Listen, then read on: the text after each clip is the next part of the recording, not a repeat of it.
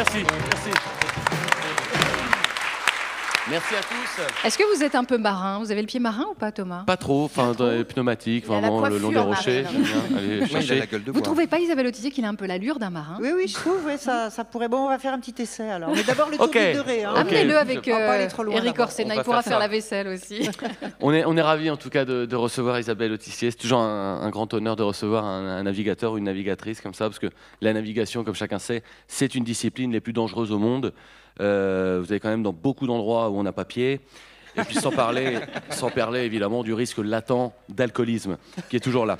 Alors en tout cas, c'est encore plus un honneur de vous recevoir Isabelle Autissier, parce que vous n'êtes pas seulement une navigatrice, mais aussi écrivain. Vous êtes venu nous parler de votre deuxième roman, L'amant de Patagonie.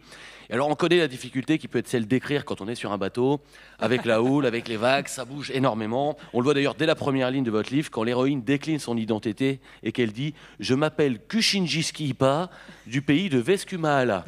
Et là on se dit « Oh, vous avez eu beaucoup de mal à vous relire ».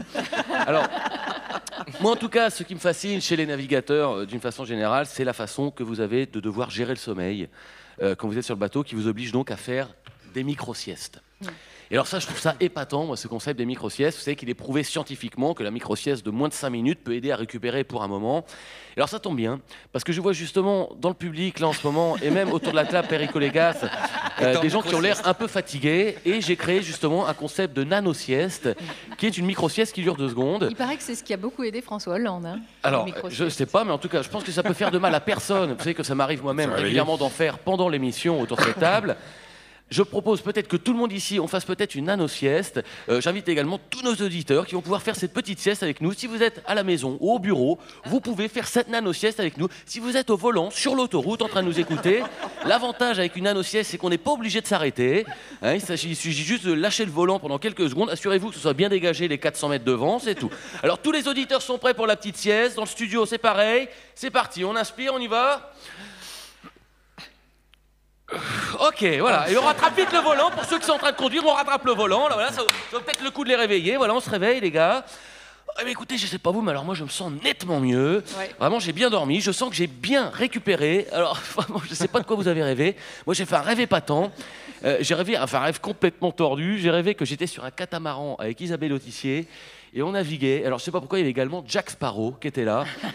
Et Jack Sparrow et moi, sur le catamaran, on était en formule all-inclusive. C'est vous qui vous occupez de tout, Isabelle Autissier. Moi, je bronzais avec Jack sur le pont, faisais du trampoline sur les filets du catamaran. Puis d'un seul coup, on regardait tous l'horizon et là, voilà, il y a un chameau qui passait en ski nautique. Faut savoir que je fais des, des rêves un peu chelous des fois. Et puis d'un seul coup, je sais pas pourquoi, je me rappelle que ça. Alors c'est vrai que c'est mes rêves complètement débiles. D'un seul coup, on se retrouvait sur une plage en Patagonie et je marchais sur une plage. J'étais derrière Jack Sparrow.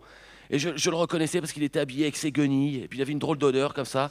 Puis d'un seul coup, il se retourne vers moi, puis il commence à chanter Savoir sourire à une inconnue qui passe. Je dis Non, c'est pas Jack Sparrow, c'était Florent Pagny, évidemment.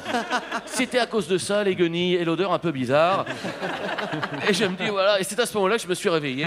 Voilà, donc en tout cas, je rends l'antenne parce que je viens d'avoir un mot. Euh, Il y a apparemment Laetitia Gaillet du Flash Info qui vient de nous apprendre qu'il vient d'avoir une série de plusieurs accidents sur l'autoroute. Merci à tous et bonne journée.